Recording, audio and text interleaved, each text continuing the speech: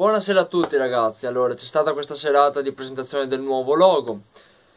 Non nascondo che speravo, dato che era una cosa in grande, che dopo il logo venisse ufficializzato Modric Però così non è stato ovviamente. Vabbè. Comunque dopo questa serata ho scoperto che oltre ad essere direttori, eh, direttori sportivi, presidenti, allenatori, calciatori e quant'altro Insomma siete anche esperti di design eh, Perché vedo molte critiche sul logo. Allora ragazzi premettendo che eh, con la fine di questo logo che comunque verrà penso messo sulle magliette dalla prossima stagione quindi 2017-2018 dato che Agnelli parlava di 120 anni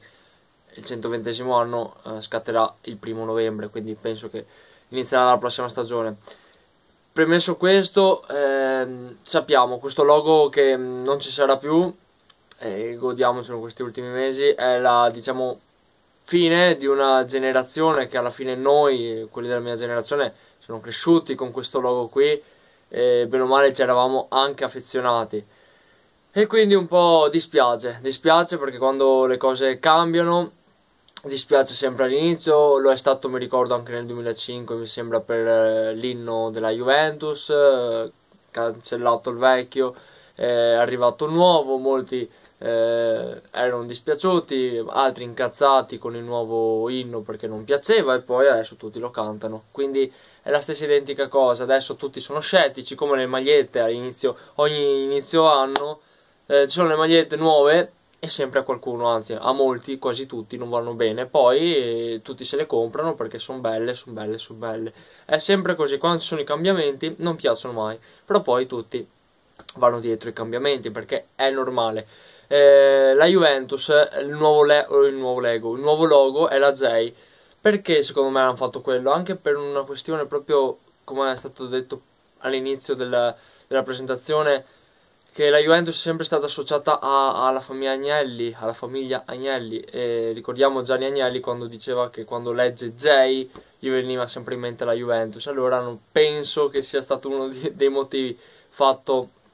eh, la J anche per ricordare, penso, uh, uno, un grande presidente come Gianni Agnelli. Poi per il resto eh, il logo può piacere o non piacere, ok? Ripeto, all'inizio non piacerà a nessuno o, po- o pochi, a me sinceramente non è che dispiaccia tanto. Eh, molti dicono eh, 7-8 mesi per fare sta cagata, non è che per fare due righe eh, ci hanno messo 7-8 mesi per, per mettersi d'accordo, per eh, voi non sapete dietro un logo cosa c'è, sono sponsor, ci sono eh, soldi che girano, ci sono tante cose, non è che il logo sono due righe, prendi un cazzo di eh, uno che sappia disegnare e gli fai fare il logo, non è così ragazzi, il logo è molto più grande, il logo rappresenta un'azienda, perché anche nelle aziende, eh, sì, insomma, che producono varie cose, hanno i propri loghi, ma vengono lavorati dietro, cioè prima di presentare il logo viene deciso, viene, eh, si discute e quant'altro, quindi il logo non è un disegno di merda, va bene, il logo è una cosa decisa eh, in precedenza con vari, eh, con vari punti, insomma, di, di, d'accordo, insomma, di, di eh, se sono d'accordo o meno, ecco, questa è la verità. Poi, ripeto,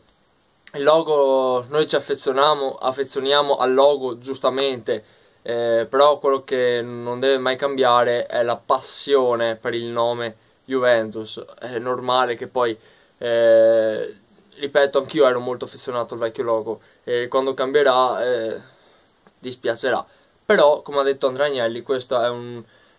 è una, diciamo, un logo per il futuro per espanderlo a livello mondiale perché se vogliamo ragazzi è sempre là. Il calcio non è più come una volta e comunque i loghi li abbiamo cambiati anche prima ma non è più come una volta come lo immaginiamo noi tanti anni fa il calcio bello giocato in Italia e quant'altro. Se noi vogliamo stare al passo con le grandi squadre con le grandi società d'Europa dobbiamo rinnovarci continuamente. E per stare al passo dobbiamo far appassionare di Juventus purtroppo purtroppo anche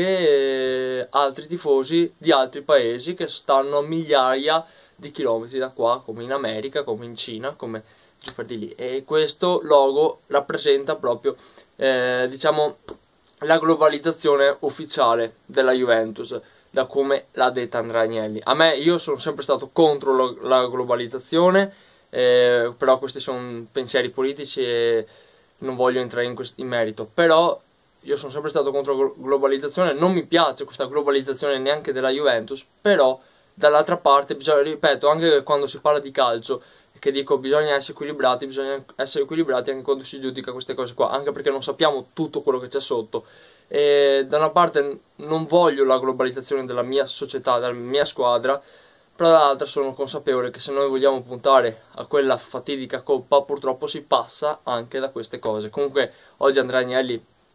prima del, di presentare il logo, ha tirato delle stilettate, giustamente secondo me, alla squadra, ad Allegri, cioè stilettate, più che altro,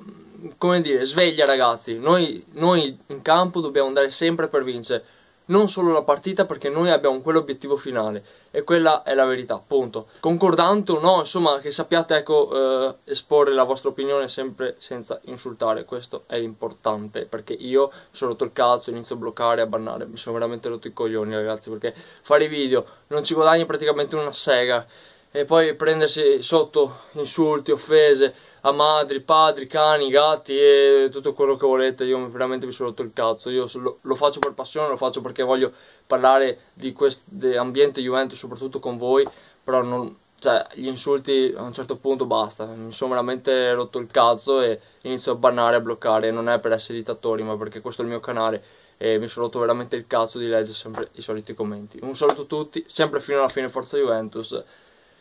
E andiamo avanti anche vivendo il presente pensando al futuro, fino alla fine.